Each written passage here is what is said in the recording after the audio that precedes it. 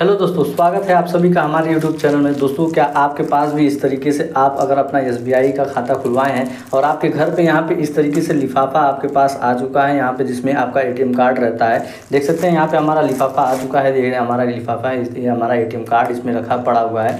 आप भी दोस्तों, अगर आप अपना SBI का अपना अगर आपके खाता खुलवाएँ ए कार्ड आ गया है, दोस्तों तो आपको ए पिन बनाना है। तो कैसे बनाना है? आज के इस वीडियो में हम आपको पूरा कंप्लीट तरीका बताएँगे। दोस्तों, हम आपको लाइव आपको दिखाएँगे कि कैसे आप अपना एटीएम कार्ड का पिन बना सकते हैं दोस्तों। तो चलिए हम देर ना करते हुए एटीएम मशीन की तरफ़ चलते हैं और आपको हम सिखाते हैं कि कैसे आप एटीएम पिन जनरेट करेंगे। तो तो दोस्तों, देख सकते हैं हम अपने एटीएम मशीन पर आ चुके हैं। अब यहाँ से दोस्तों हम आपको बताते हैं, चलिए हम सीखते हैं कि कैसे एटीएम पिन बनाना है।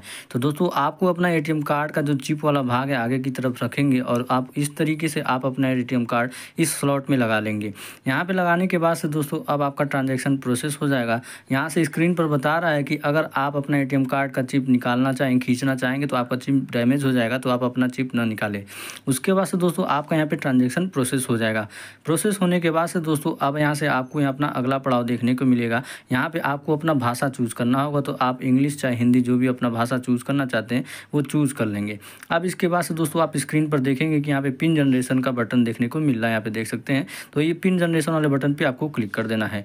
अब इसके बाद से दोस्तों, आप अपना खाता नंबर जो आपको मिला रहता है आपके पासबुक में, यहाँ पे पिन पैड की सहायता से आप अपना खाता नंबर आपको यहाँ पे डाल देना है। यहाँ पे अपना खाता नंबर डालेंगे और डालने के बाद से प्रेस इफ़ करेक्ट पे आपको क्लिक कर देना है। अब इसके बाद से दोस्तों, आप अपने खाता में जो अपना रजिस्टर्ड मोबाइल नंबर दिया हुआ है तो वो आपको फिर से आपको यहाँ पे पिन पैड की सहायता से आपको अपना रजिस्टर्ड नंबर आपको डाल देना है। उसके बाद से प्रेस इफ़ करेक्ट का आप क्लिक कर देंगे। अब इसके बाद से दोस्तों, आपका यहाँ पर ट्रांजेक्शन प्रोसेस हो जाएगा। प्रोसेस होने के बाद से दोस्तों, आपके मोबाइल पर रजिस्टर्ड जो मोबाइल आपने डाला हुआ है, उस मोबाइल पर आपको मैसेज मिल जाएगा और आपको एक पर्ची मिल जाएगी कि आपके यहाँ मोबाइल पर एक, ए भेज दिया गया है, जो एटीएम पिन होता है one time ATM ATM pin होता है, वो आपको भेज दिया जाएगा। देख सकते हैं यहाँ पे ट्रांजेक्शन कंप्लीट हो गया है और आप यहाँ से अपना एटीएम कार्ड निकाल लेंगे। यहाँ पे नेक्स्ट का बटन नेक्स्ट टाइप पे क्लिक करेंगे, उसके बाद से आप अपना कार्ड निकाल लेंगे। अब इसके बाद से दोस्तों देख सकते हैं स्क्रीन पर कि ये हमारा जो ए पिन था, आ चुका है। अब फिर दोबारा आपको अपना ए कार्ड इस स्लॉट में लगा लेना है।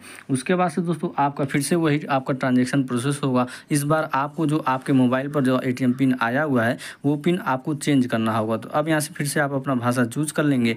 उसके बाद से दोस्तों आप यहाँ पे देख सकते हैं कहीं भी आपको पिन चेंज करने का ऑप्शन नहीं मिल रहा है तो यहाँ पे बैंकिंग का बटन है, इस पर आपको क्लिक करना है।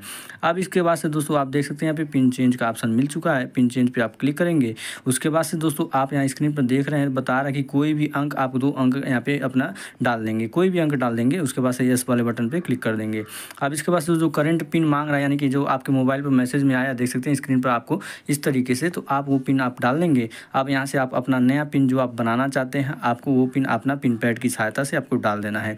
अब फिर दोबारा वही पिन आप जो अपना नया पिन बनाना चाहते हैं पिन अपना डाल के कन्फर्म कर देंगे। उसके बाद से दोस्तों आपका यहाँ पर ट्रांजेक्शन प्रोसेस हो जाएगा। देख सकते हैं इस तरीके से आपके स्क्रीन पर मैसेज मिलेगा your transaction is being processed please wait तो आप थोड़ा वेट करेंगे, उसके बाद से दोस्तों आपका ट्रांजेक्शन कंप्लीट हो जाएगा और आपका एटीएम पिन आपका जनरेट हो जाएगा। देख सकते हैं आपका ट्रांजेक्शन कंप्लीट हो चुका है। यहाँ से आप नेक्स्ट टाइम वाले बटन पर आप क्लिक करेंगे, उसके बाद से दोस्तों आपका यहाँ per transaction hundred percent complete हो जाएगा और आप अपना एटीएम कार्ड बाहर निकाल लेंगे। तो दोस्तों ये थी छोटी सी जानकारी अगर वीडियो पसंद आए तो एक लाइक करिए और चैनल को सब्सक्राइब कर लें।